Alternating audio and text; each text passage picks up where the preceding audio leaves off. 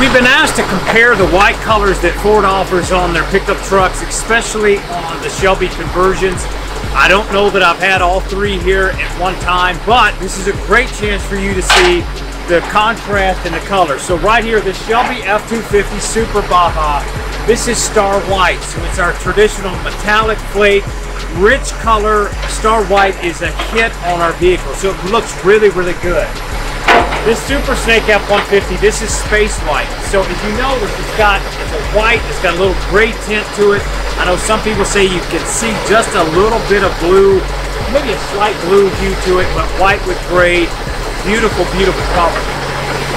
This Super Snake here, this is Oxford White. It's our typical high gloss, flat white. It's a beautiful white color, but very contrasted to the Space White, which has that gray tint and the Star White, which has that metallic flake.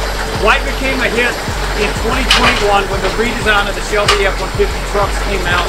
They released their promo uh, video and photo shoot with a white truck. So Oxford White, Space White, Star White, all major hits. You can't go wrong.